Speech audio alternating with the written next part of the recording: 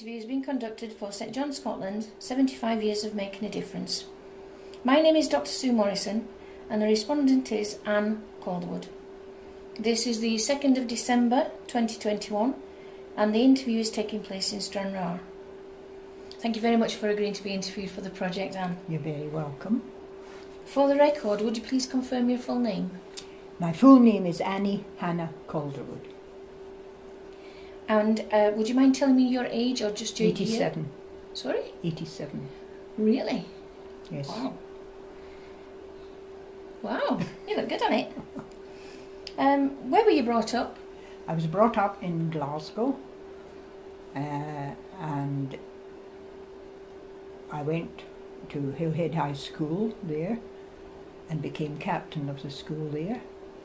And when I left, it was just still in the period after the war, and there was still a lot of uh, the armed forces coming back home seeking work, and jobs were very difficult to come by. I, I did not want to go to university anyway. I had never had any ideas about that, and then I got a post as a junior uh, in quality section of the administrative headquarters of Elders, Elf, not Elderslie, of Ferguslie and uh, the Paisley Mills.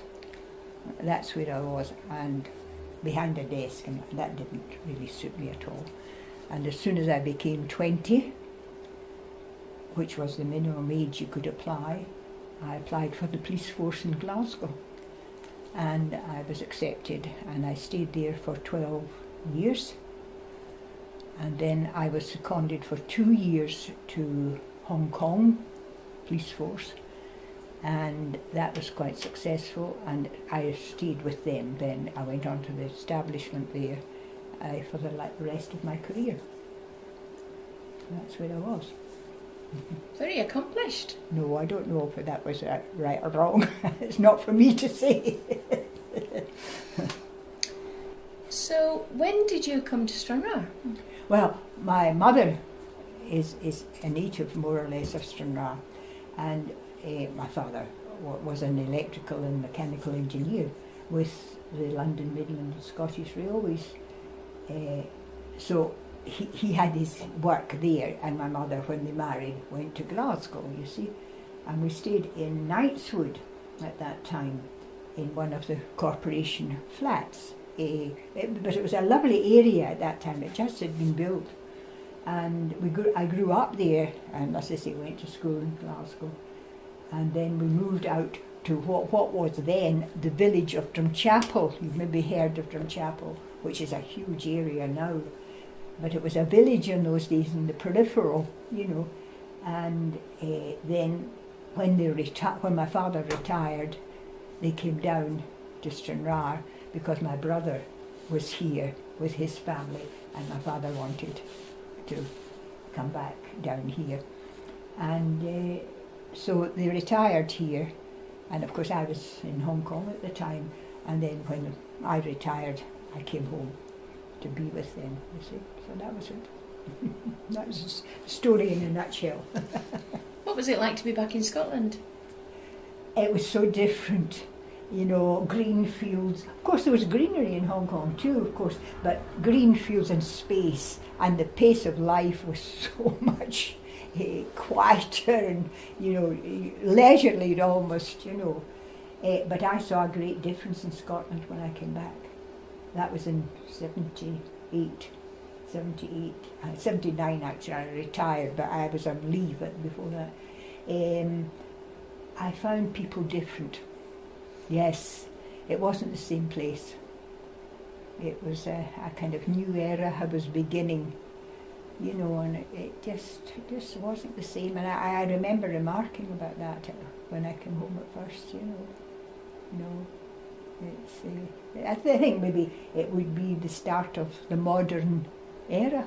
I don't know, but uh, I thought there was big changes in the offing, which has proved unfortunately correct. When did you first hear about St John Scotland? Well, um, John Calvert, here we go, Dr. Calvert uh, knew knew me because he was our general practitioner, and he attended to my parents very very well indeed, and in fact.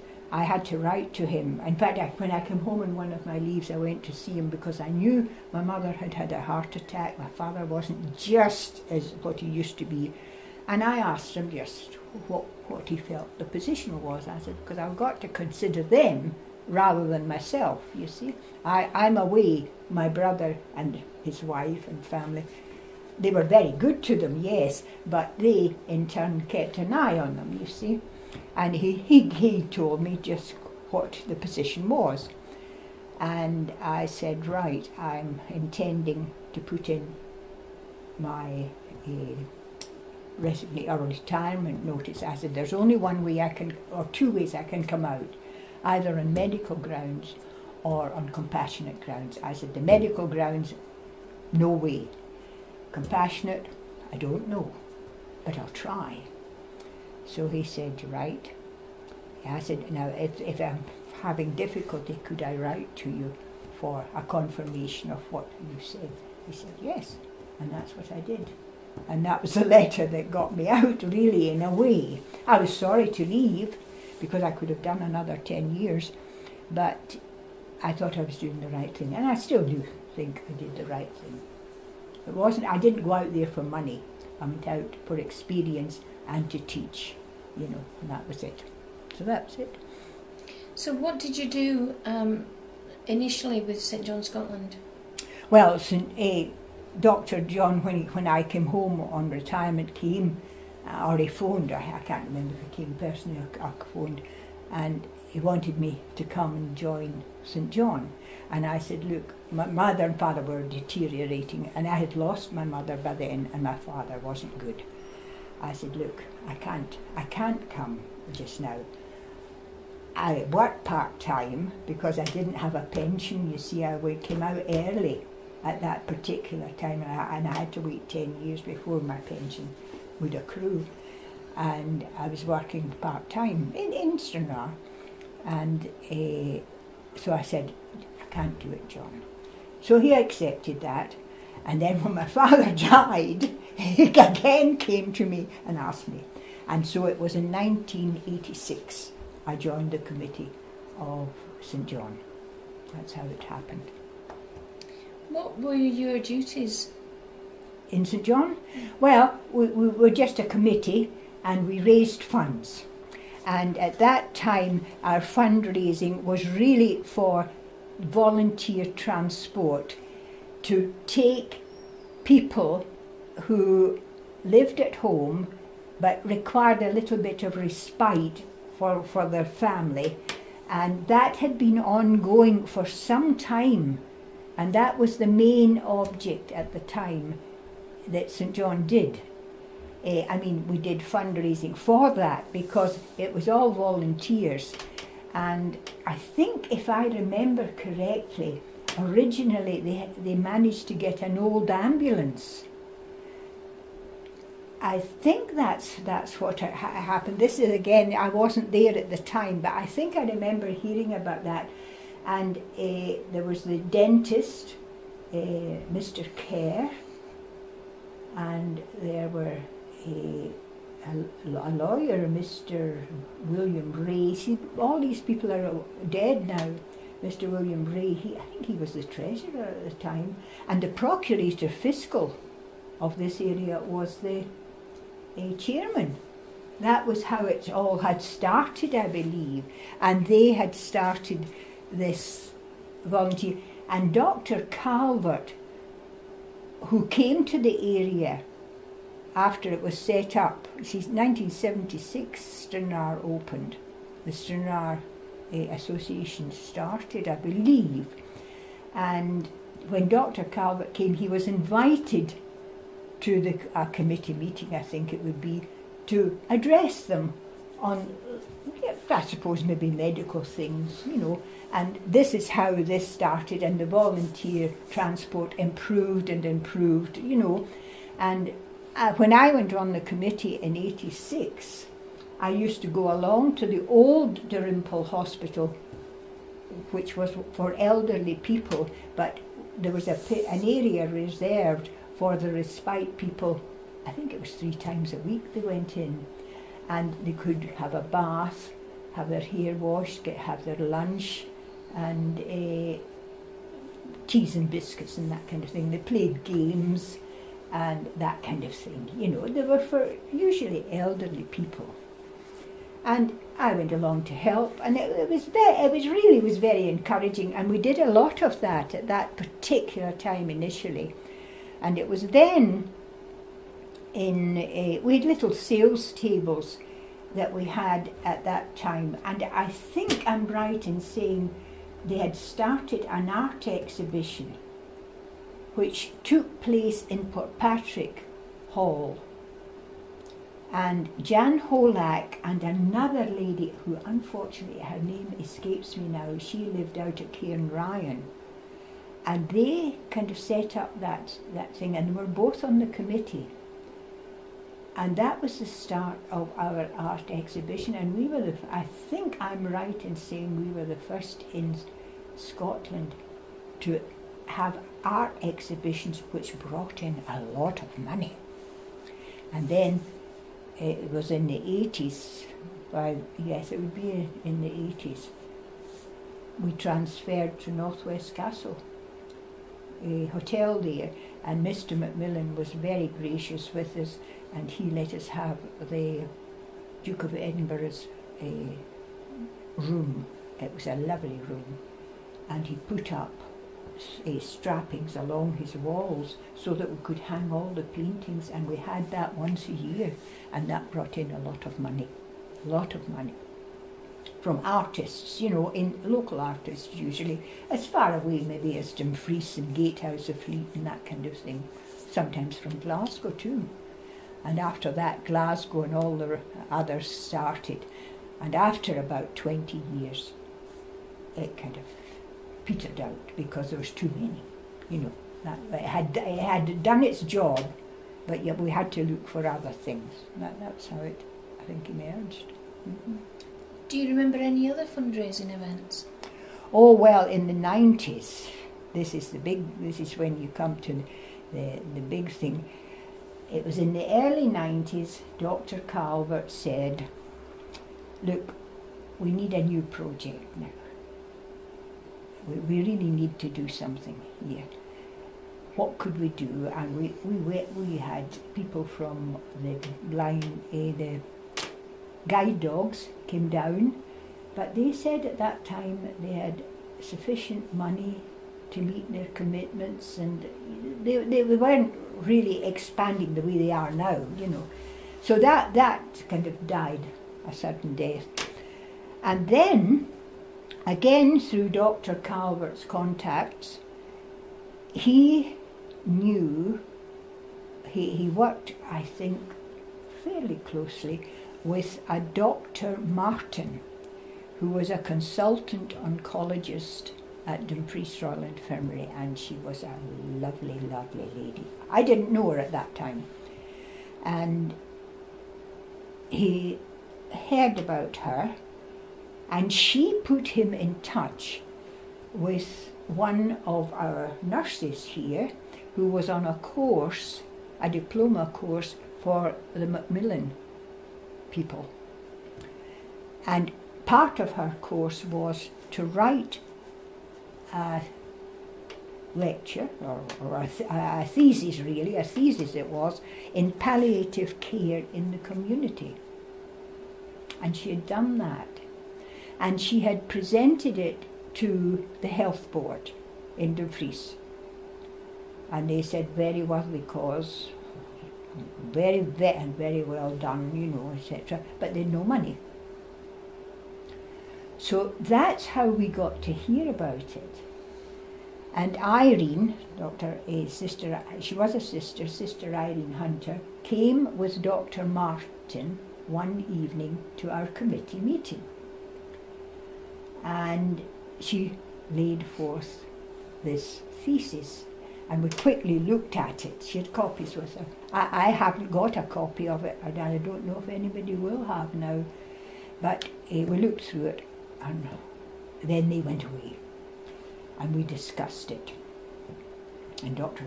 Calvert was very enthusiastic, and so was I. I was one of the newer members, remember, at this time, and I said, definitely, I would back him the whole way.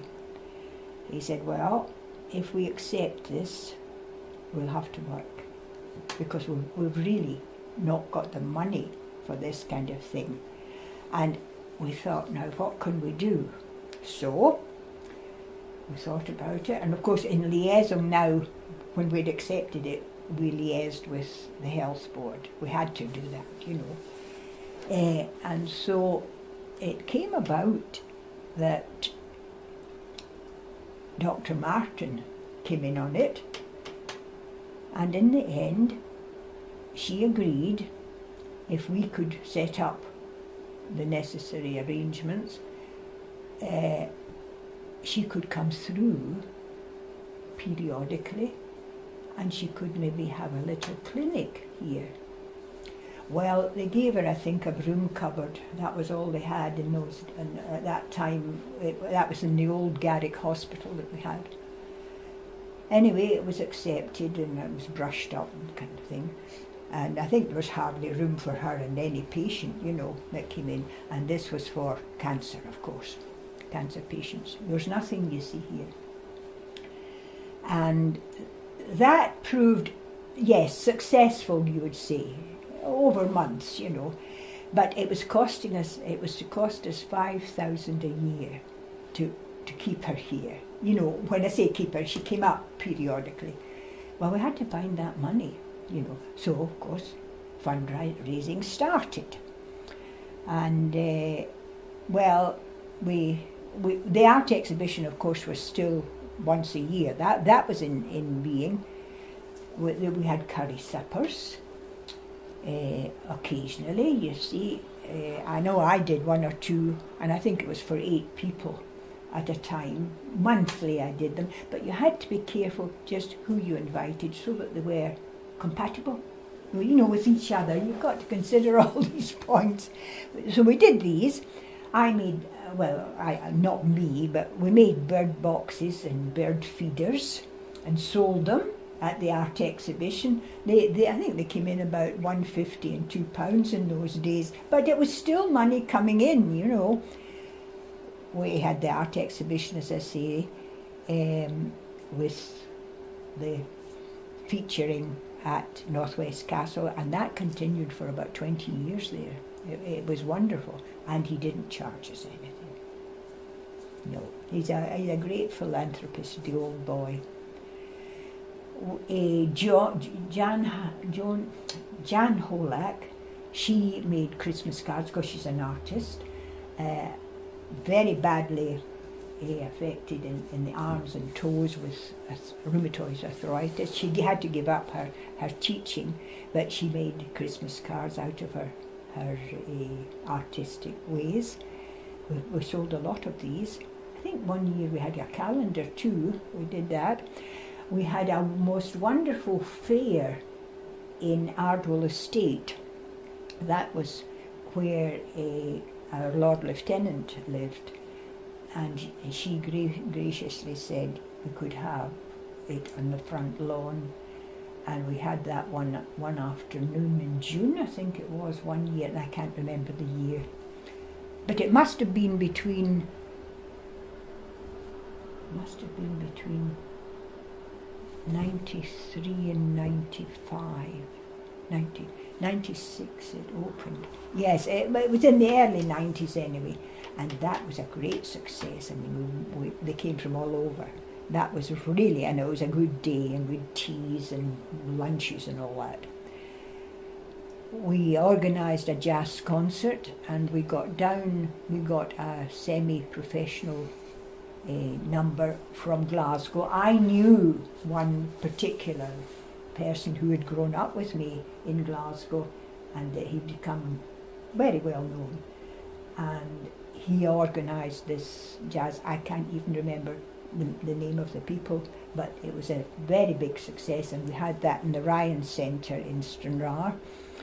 Uh, of course, we had the shop cans, you know, uh, we had one member went round and collected them about every three months, and it brought in five or six hundred pounds, you know, uh, every so often. Then the Rotary Club became interested in this project we had of palliative care and uh, they said they would get help out in the end. And I think they, in the end they gave us twenty thousand pounds. Yes, they were very very generous. And there's a plaque in the hospital dedicated to, to the amount that they gave. Mm-hmm.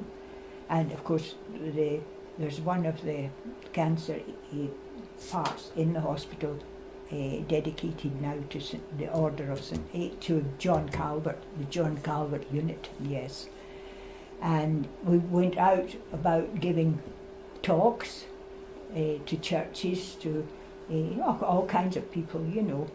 And that's how we, we, we made our money. Then Dr. Calvert in our little cupboard, we realised we had to do something better than that. And she then went round some of the patients' homes, their, their dwelling homes, and interviewed them there and she was such everybody spoke so highly of her she, she, i didn't know her well i only met her on the one occasion but her name spread throughout you know dumfries and galloway she's now retired of course that lady that's dr martin dr martin that's right and uh, that that was how how we all began and, and that necessity of going on the domiciliary visits that she had was highly successful too. But we knew she couldn't continue doing that. You know, she had her own thing. And so we then said, right, and we got in touch with the health board, and it was agreed that our hope that we could have a, a unit, a medical unit if possible, it within the hospital. And so they, they agreed. Now, this is to the old Dalrymple Hospital, which, which was for old people at that time. Well, they transferred a part of that hospital and they, they gave it, they, they built an archway between, when I say it, they built an archway between the hospital and, and our unit, it was just, it just flowed through, you know, you just walked through it. But this archway made all the difference. And when you walked through that archway and you came to the two bedded ensuite unit, there was something about an aura about that place, and everybody spoke about this, and it was true. Even the nurses said it was a very special place. The carpets were different, the walls were different, and you walked into each bedroom and we provided flowers and uh, sweetmeats, magazines for them, uh, the drapes and the windows. We were responsible for all that. Some of the early furniture we, we provided too. We, we did that initially to see how it would work out, and then there was a, a little quiet room for the relatives just to sit and they, the nurses allowed them to use their facilities to make a cup of coffee and we provided biscuits and that kind of thing for them. And that's how it all started. And it was wonderful. Then, of course, the bombshells came when a new hospital was to be built. Of course, it was badly needed. We knew that. And so the community hospital that we now have, the plans were all made, of course, years before, well, you had to put, we had to say, well, but wait a minute, we we want a unit there. We've got to have this unit. This unit is established now. So that lovely place was demolished. Mind you, the hospital needed demolishing, let's be fair about it, but this unit was something very, very special. And of course, it was opened in May 1996. And that was when we took the first patients in. And in August 1996, Her Majesty the Queen came and officially opened it. And that was great. That was a great moment. But it was in the old place, you see. And she, she was very taken with it too, yes. That was the day, the last time she was up here in the Royal Yacht because it was on its way to Leith, you know. So that was it. Well, after uh, some negotiation, of course, our unit was immediate. Then they, they agreed that they would uh, have a unit put in, but it wasn't a unit that was originally in the plans, so they had to make alterations. Now it's a lovely, it's a nice place. It's not the same as our initial unit, but it does a lot of good work. And it has, uh, it gets great praise. And the unfortunate thing is about the unit, but we've got to be practical here. We get a lot of money from relatives who have lost, you know, dear ones. That's true. But it still keeps us going. We get a lot of money. And when, you know, they die and there's a church service, uh, a lot of relatives they want a retiring connection, and that's what brings in a lot of money too, you know. But the last two years, of course, there's been no fundraising possible. So it, we've, we've kind of we've not died. Don't get wrong, me wrong. It's it's in no way dead, but and they, they still I think have committee meetings. See, I'm not on the committee. I came off the committee. I think it was in 2002. Uh, I had served 16 years and I thought it was only right that I should come off and let somebody else, you know, carry on. We were tired, I'll tell you, when, when the palliative came, the whole committee were tired because I had said, you know, right from the start, now look, if we begin this thing, we've got to see it through and I expect everyone to pull their weight. You know, you had to say that. Well, I, that's the way I work you know. And so it was a success, but it wasn't a success through me. It was a success by the people that worked there, and particularly Dr. John Calvert and Pat. Definitely. Mm-hmm. They're the mainstay. And I think Kenny Patterson would agree with me. We also, of course, run a transport system. That came in the wake again, my brother was very much involved with that for a while. Uh, again, volunteer drivers initially, then uh, the St John in Edinburgh. We, we were after them, of course, and we felt it was such a, an important thing because transport from here to Dumfries is such a long way, and people don't appreciate it. It's 150 miles round, well, it's now 148 to be right, you know, to be tr- truthful. Uh, but it's a long way for people, and when they're not well, I mean, you know, it's difficult. And they were going in private cars, which was quite good, but it wasn't as comfortable as it should have been. So we approached uh, the. I was off the committee by then, so I, this is kind of hearsay. Uh, they approached, I, th- I, think I'm right in saying this, they approached Edinburgh, and Edinburgh very kindly gave us our first people carrier. And that was a five, I think it was a five seater at that time. And uh, there, were, there were one or two wee niggly things like sometimes it was too high to, for people to get in. So we had a wee, a wee um, step made that was fine. But it wasn't just ideal. Where do you put the thing? Because if people were going down to Dumfries, and maybe sometimes we had to go to Edinburgh with them, because at that time, Dumfries, the Dumfries section was part of the Stranraer one. We, we guided them, if you like, initially, but then they're now on their own. Eh, and they have their own transport now, which is good.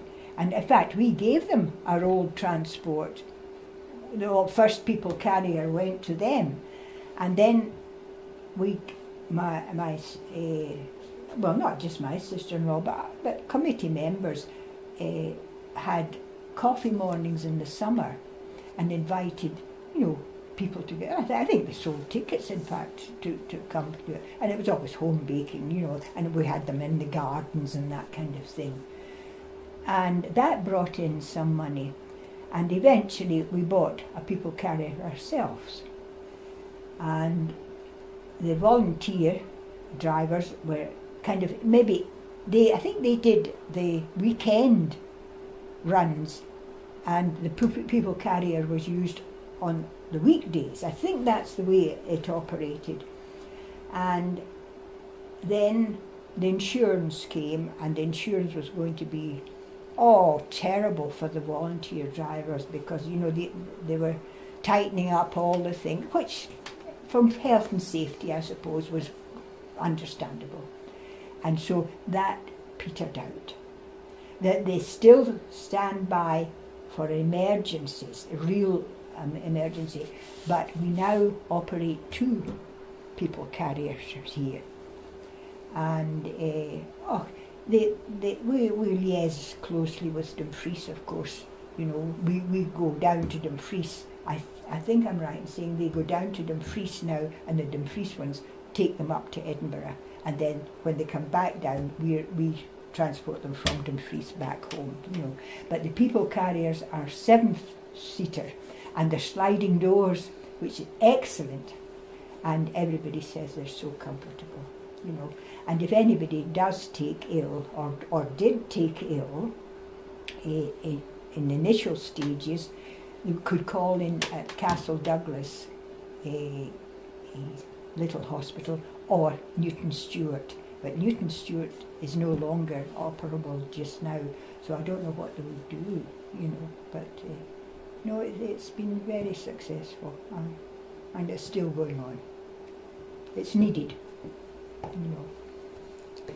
And, and there is also hospice at home. St John has a hospice at home, a few nurses. Uh, when, we set up the palliative care, uh, I'm going back and now, when we set up the palliative care unit, we um, met the costs of these girls going on courses and we, we put them through, I think in all we put through four or five of the nurses. It's a, a special course that we go on. Ann, could you describe the present palliative care unit to me? It's a two uh, bedded ensuite uh, unit, and there's added onto that is the what we call the quiet room for relatives. That has improved because there is a fridge there. There's always milk, uh, you know, uh, there, and if people want to put things in, uh, extra things, it works out very well. And the, of course, the patients can stay.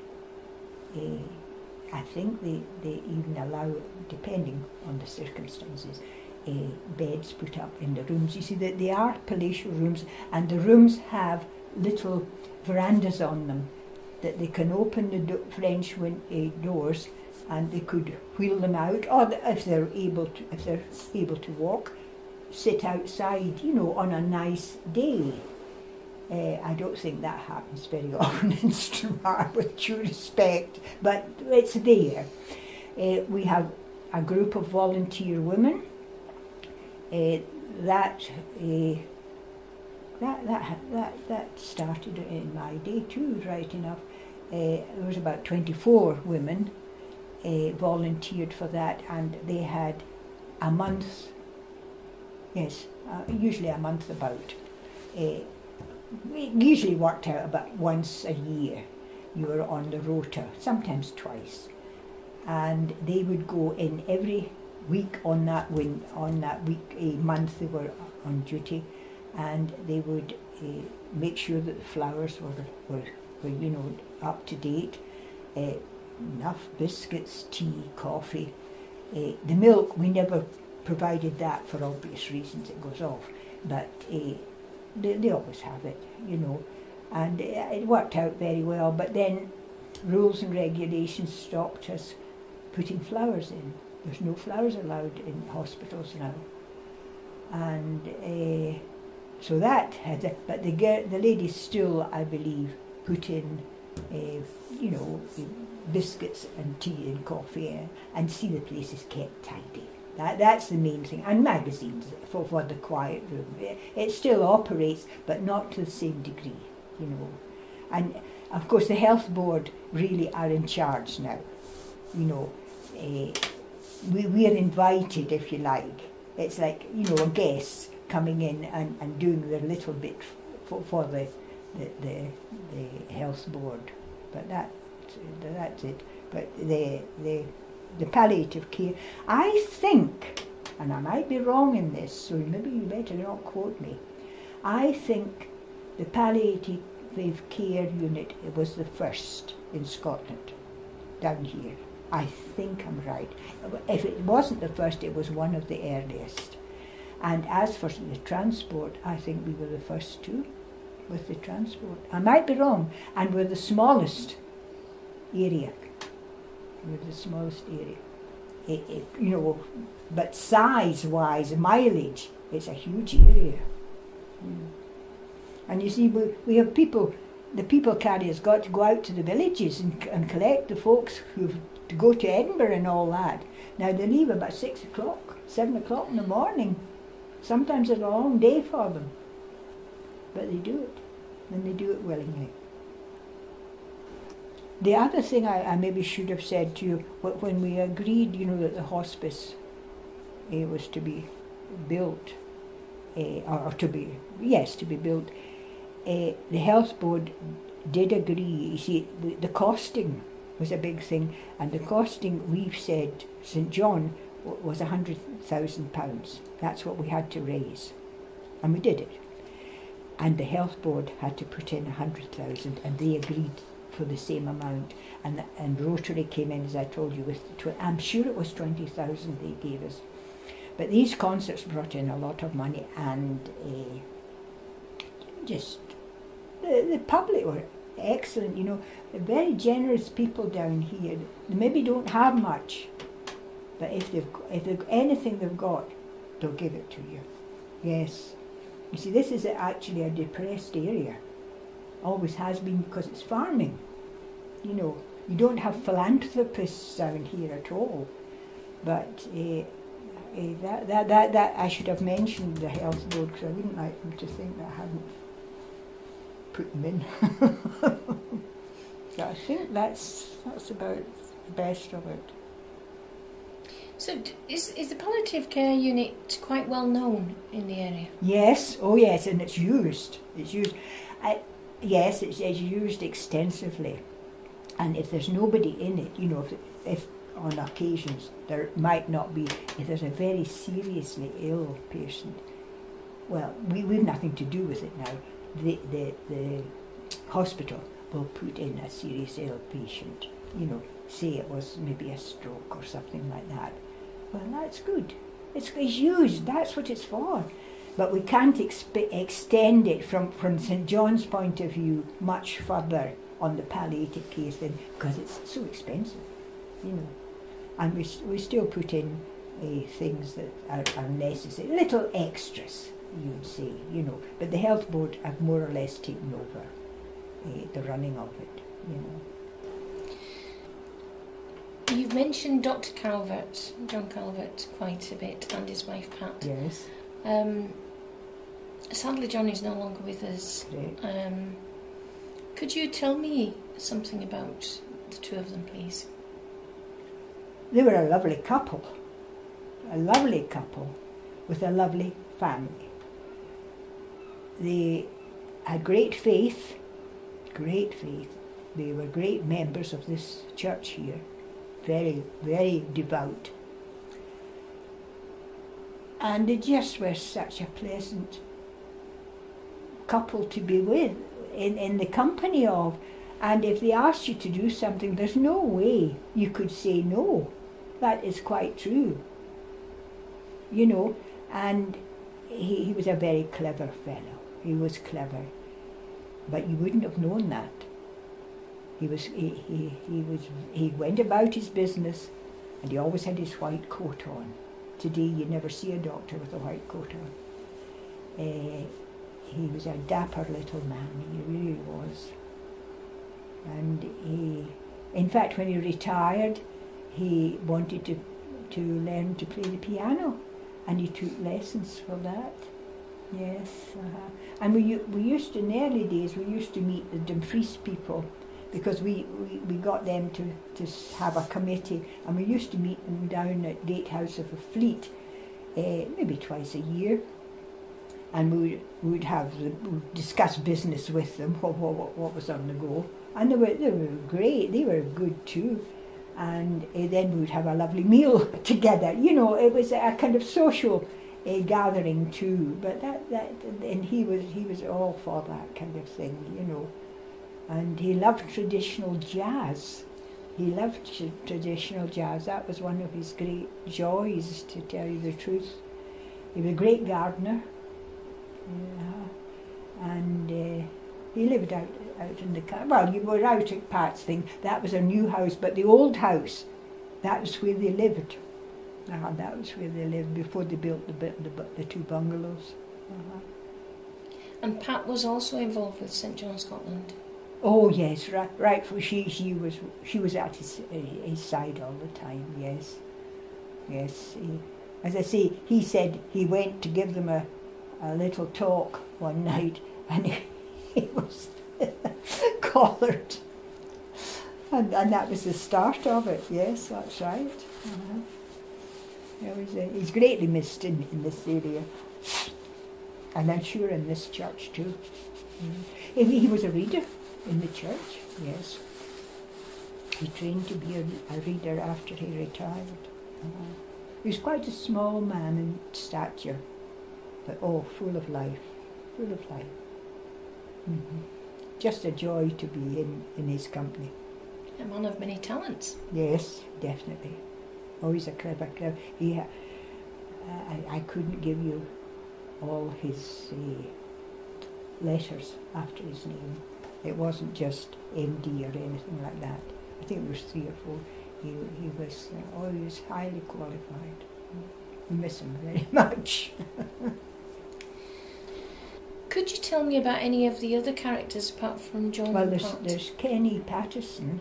I think you've met him. Well, Kenny has been a chairman for a long time. Uh, in fact, I think he's just recently given it up, but he's still on the committee as an advisor. Uh, there's Kenny. Um, oh, well, there was John, uh, there was uh, Miss, is it John McIntyre? I think it was John. Jim, no, Jim McIntyre. Now, he was a former farmer, but he was also chairman of the health board at one time. And as he gave up his position in the health board, he came on to our committee. So he, at that time, was an excellent person because he had the contacts down there. And I, I think Jim did an awful lot of good work for us in that department with the medical people. You know, he, he got things done because he'd, he'd, been in that position. So the, he was there. Uh, there was an ex-director of the education um, Mr. Gunn. He was there and he had been on that committee, I think maybe from the beginning. I'm not sure, but he was another character uh, there. Uh, Jan Holak, I've mentioned, she was the artist. Uh, uh, I've already mentioned Kenny. Um, there was an, we had an architect too. Uh, he was he was excellent in the building construction and how, how it should be done. Initially, he, he was excellent, and that fellow uh, unfortunately retired and he went up the north, I think. Aha, he, lived in Westwood Avenue, and he uh, brought a lot of expertise on the building side of it. You know what what shouldn't shouldn't be done um, what was his name now? Oh, I'm beginning to forget names now. Um, Jean, Jean was his wife, Jean. No, I can't get it, sorry. And yes, but he, he was good too. So we had professional people with us, you know, all the way. And then Pat and I used to go to quarterly uh, conventional kind of that wasn't the name they gave them, but it was committee meetings of the all areas. I think they, but maybe every three months or so we went. I think, or maybe, I think it was every three months, or maybe it was every four months, three or four times a year, and we had to report on what we were doing, you know, and how the finances were and all that and that these were great meetings. These these were really good, and that's how we got to know so many of, of the St John people, you know. But I don't know any of them now because they've all come off. See, we all get older, and we're useless. you say you found these meetings useful yes. in meeting the other areas. Yes. Um, what did you learn from them? Well, we learned things from them like uh, what they were doing, but we at that time were on on the, the cusp, as it were. Uh, and they said, "Oh yes, you know, a small area like that, and you're doing this." You see, that was that was good. We we, we were we were. Uh, I think that's where our ideas kind of sprang, and we've got palliative care units in one or two places, and the transport too has, is, has swelled. And of course, St John but then I, this is really from Edinburgh. St John itself, you know, has given mountain uh, rescues uh, vehicles, you know, and, and really good, and they cost a bomb. And also, they have built a new uh, premises for, for, for the, the, the res- mountain rescue. They've done a lot of work there, and now, of course, they're hoping to give defibrillators to all the villages in Scotland that don't have them, you know. So that's a great thing too. And Rotary are into that too because they, they Rotary have, have provided one for Stranraer. I think it's at the castle there.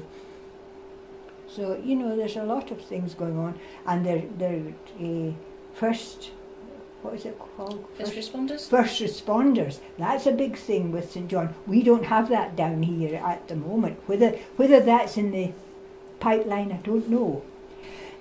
Can you tell me what are your favourite memories of working with St John Scotland? Well, the, working through the palliative care, that was just terrific.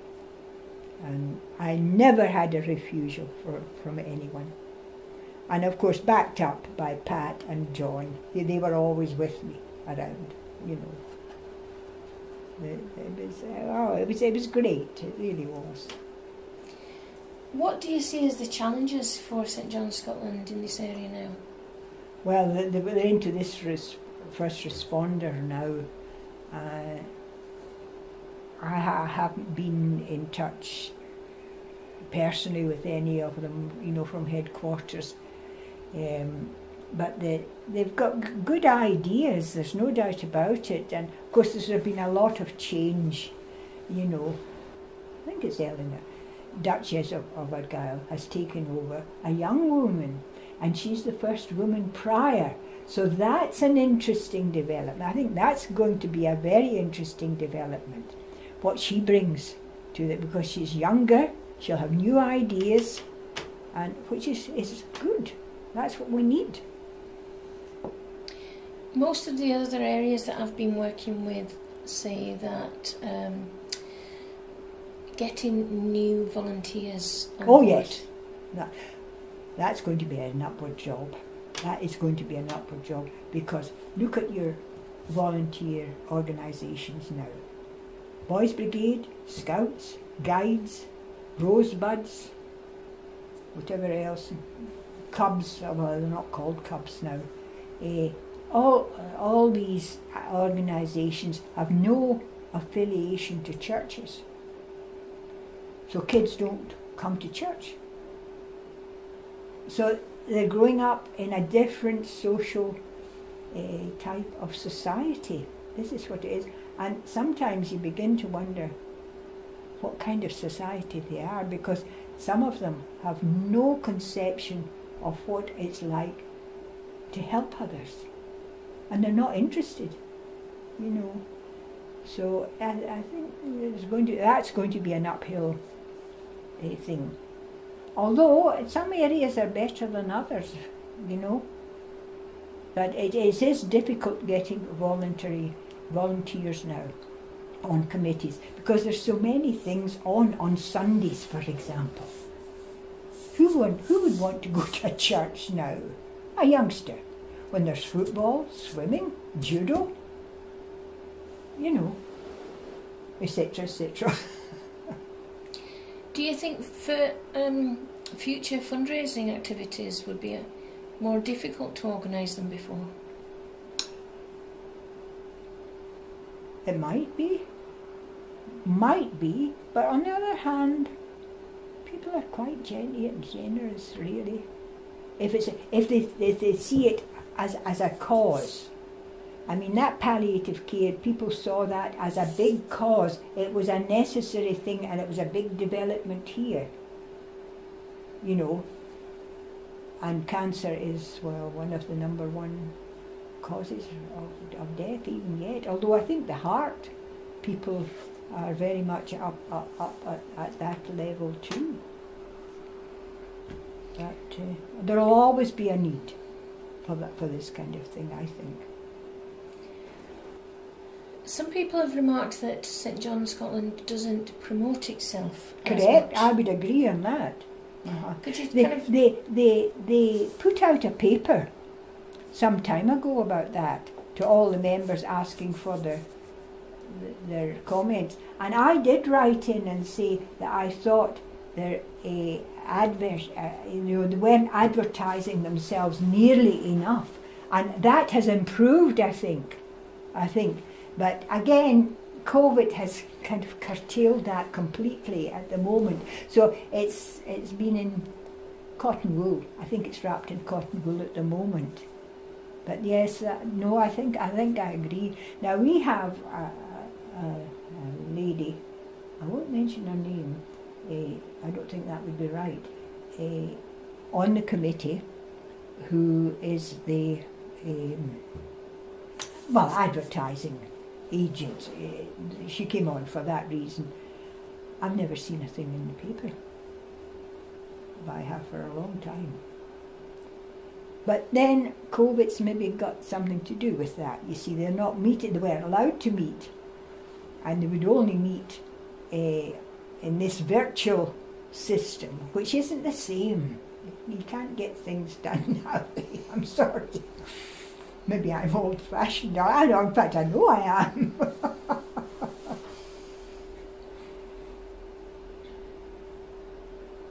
What are your hopes for the future of St John Scotland? Well, I, ho- I hope it may. Well, of course, it does a lot of good work in uh, Jerusalem, in the hospital. And that, I mean, must continue. Of course, it's an international thing. And there's uh, a lot of the, the colonial uh, folk people have their own sections throughout the world. There was one in Hong Kong, and when I was in Hong Kong, I of course I knew there was such a thing as St John, and I used to examine the, the youngsters with their marching and, and all their, their their thing, and they were beautifully turned out. Uh, I would take off on a Sunday and there maybe a thousand of them there. I never realised, you know, it, I was the same affiliation. I didn't at that time, you know, I didn't myself because I wasn't in, in, involved with it at that time. But uh, no, it's an international thing, so that's an important thing to, to continue with, definitely. But I think we want to spread our, our uh, a word round much better than we have done. We, we, we've, we've kind of uh, held, held, held our, our uh, reputation of it. Uh, I think uh, to, to our detriment, I would agree. And then we have the annual festival, of course. Uh, I hope that continues. But again, it's not the same. When I first began, oh gosh, it was awe inspiring. You had all the, the military people connected with St John, you know, in the regalia. Men who had been in the war and all that kind of thing. Well, of course, that's more or less all gone, except the Queen's representatives now. You know, they, they, they, they always they're always there. But uh, no, I think they, they could do a lot with their advertising. What do you think about the hierarchy of the Order of St John? Well, it has changed a lot. It has really changed. It is a hierarchical institute, that's right. And of course, uh, it was Queen Victoria uh, who gave them the, the charitable uh, thing, you know, an order, an order of chivalry. How would you say it's changed over the years? In recent years, it's changed a lot. Um, well, it's it's now more an international, you know, thing. The prior used to be in England, you know, and everything else was subsidiary. Now, these uh, area, you know, well, countries, I think, have their own prior, and then you've got the Grand Prior, who is still the Duke of um, Gloucester, you're right. That's right, you're quite right, Gloucester. And he, he's a nice soul. He's a nice, but eh, again, he's elderly. So somebody, some of, of the other members of the royal family will take that over. Of course, the Queen is the number one. And long may she reign, really, you know. What about the gender um, situation? Um, do you think that there are now more or fewer women than there used to be? Oh, I think there's more. I think there would. I think you could say there's. Yes, I would think so. That, that I never felt any difference. You know, certainly maybe in our. No, I don't even think in our committee. I'm trying to think of all the men. The men were on one side and the women were on the other usually. Ah, that's right. It's just about equal. Uh-huh. No, I never found that a, a, a difficulty at all. No. Sounds like a high school ball. Aha, uh, just about it. Uh, just about it. Okay, we had, we had good fun too. It was hard, hard work, mind you. I know that the committee were dead in their feet at the end of it. Oh, they, they were. And that's why we kind of drew back for a year or two, you know. But still the money came in. Again, the palliative care unit was bringing in money, you know, and we, well, we still carried on, you know, but not to the same extent with, you know, it, it was almost every, every committee meeting there was something else on the go that, that meant work, you know, that kind of thing. But everybody pulled their weight. It was amazing. It was a lovely, a lovely committee to be on. Mm-hmm. I think that's all of my questions. On is it? is there anything that you would like to add? No, not really. As I say, the person who should have been here today was Pat. I hope I've done her justice. oh, you have. You have, and more. Thank you very much, Ann. You're very welcome. It's much appreciated.